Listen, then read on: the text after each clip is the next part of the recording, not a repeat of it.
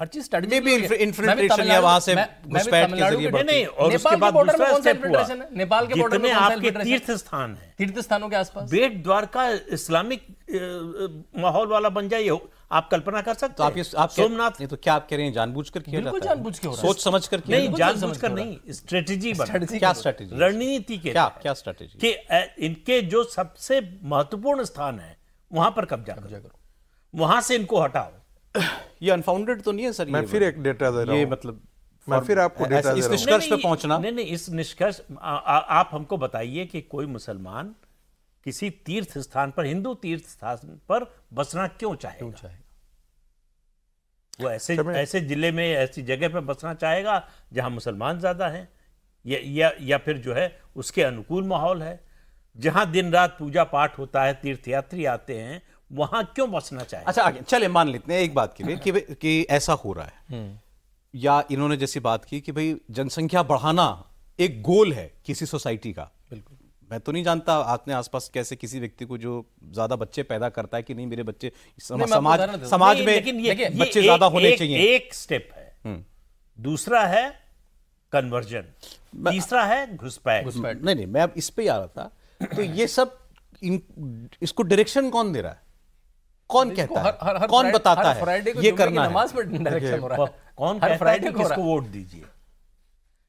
Communication का जैसा system है इस्लाम का इसीलिए स्वामी विवेकानंद ने कहा था कि अगर इस्लाम का संगठन और हिंदुत्व का जो अध्यात्म है ये दोनों माइंड एंड इस्लामिक बॉडी जो शब्द का प्रयोग किया था जो मैं कह रहे Pradeep ji Vedantic mind and Islamic body यही शब्द का उन्होंने प्रयोग किया था। और देखिए जो एनएफएचएस का अभी मज़ेदार बात है, का, कि वो ये उसको लोग बताता है कहते कि हैं- जो जो एनएफएचएस का भी डेटा हुआ नेशनल फैमिली हेल्थ सर्वे कि जो हमारा रिप्लेसमेंट रेट है पॉपुलेशन का वो करीब टू के आसपास है। हिंदू पॉपुलेशन 2.9 से मतलब रिप्लेसमेंट रेट से नीचे बढ़ रही है और मुस्लिम पॉपुलेशन 2.4 से बढ़ रही है। पर उसमें भी कहते हैं कि जो ग्रोथ ऑफ़ मुस्लिम पॉपुलेशन है उसका डिक्लाइन सबसे उसका डिक्लाइन हुआ है उसका डिक्लाइन हुआ लेकिन अभी भी क्योंकि तेज़ी से घट रही है उनके बढ़ने की संख्या इफ़ आई पुट इट देखिए ये वैसा ही है जैसे कोई कहे कि अमेरिका का जो ग्रोथ रेट है वो घटा है।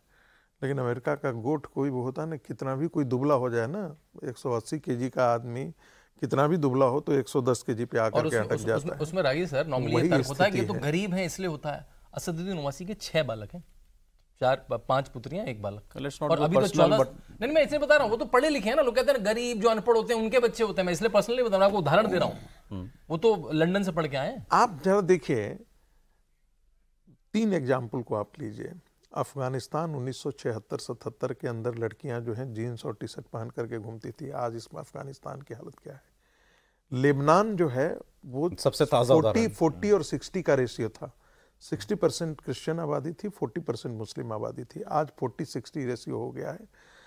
वहाँ पर आज के दिन में इस्लामिक शासन के तौर पर ही चल रहा है। क्रिश्चियनिटी जो है वो बर्बाद हो गई है Iraq. Post Christian Iran Iran, Iran Iran Persia कहते थे आप ईरान की ये देखिए आज भी, खोजे से एक पारसी नहीं मिलेगा ईरान में आपको। भारत में मिल जाएँगे।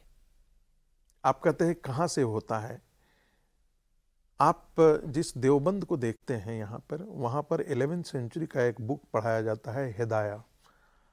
वो एग्रेसिव जिहाद की बात करता है। ये जिहाद क्या है? जिसे अब आप वर्ड करते हैं ना शहीद हो जाना शहीद होना। हम लोग भी तो मूर्ख हैं। शहीद शब्द उसके लिए कहा जाता है जो इस्लाम के लिए अपना जान दे दे उसे शहीद कहते हैं।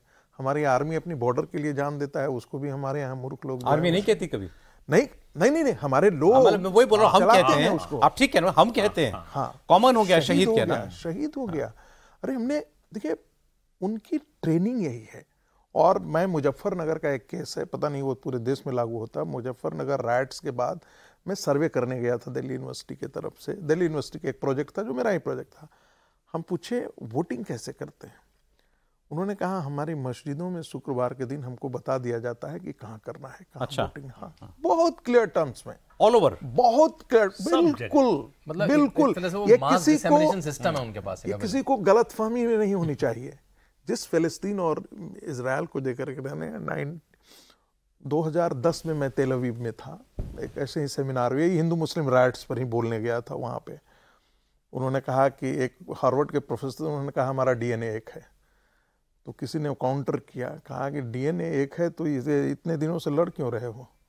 सब एक ही एक ही है डीएनए है तो एक लड़ क्यों रहे हो? आज देख रहे हैं हालत क्या है?